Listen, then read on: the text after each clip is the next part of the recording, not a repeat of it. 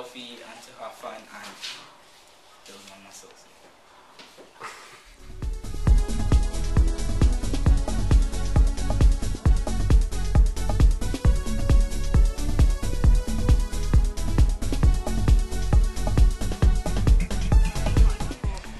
It's very important for children to take part in sport because um, you learn to be a team player, because you get fit and work towards a healthy lifestyle.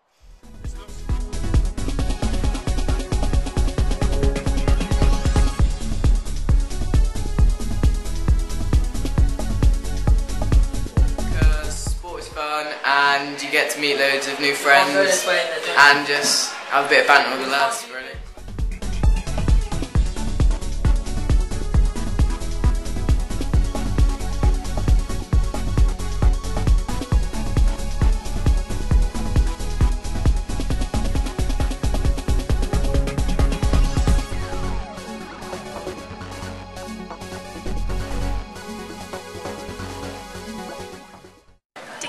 Healthy, eh? to let off stress.